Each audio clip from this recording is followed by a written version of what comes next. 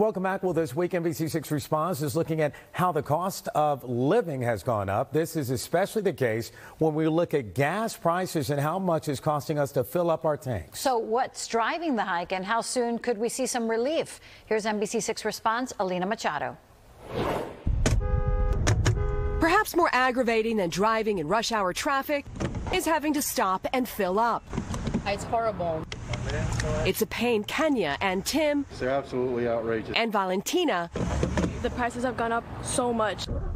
Are learning to live with. I can't pay. I have to pay $60 for this, and it was before like 40.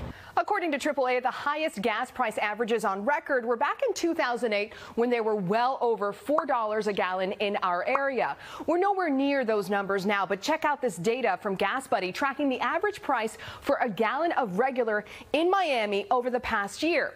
Last November, that number was at about $2 per gallon. Since then, it has soared to over $3 a gallon. So what's fueling the hike? One economics professor says it's complicated. The main uh, idea behind the gasoline price increase is the global oil prices. He says we're seeing higher global demand for energy coupled with a production problem. These drill companies, they are having a hard time finding workers. Add to that the increase in demand we typically see over the holidays, and it could be well into next year before we see relief at the pump. If you are filling your tank every week, maybe twice a week, it means that you are, you know, spending about maybe 300, 400 bucks a month.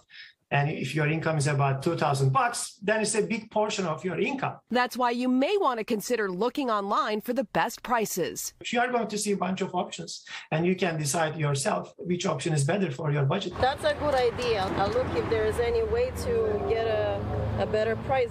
And there are several apps available to help you search for gas prices right on your phone. Gas Buddy gives you a sense of gas prices near where you are, showing you the lowest and the highest in your area. Gas Guru offers a similar service. The AAA app also shows you gas prices based on your location. Now, some of these apps tell you when the price you're seeing was reported, so make sure you look at that before heading out to a particular gas station, because if it's been a couple of days, there's a good chance the price could have changed. Alina Machado, NBC6 Responds.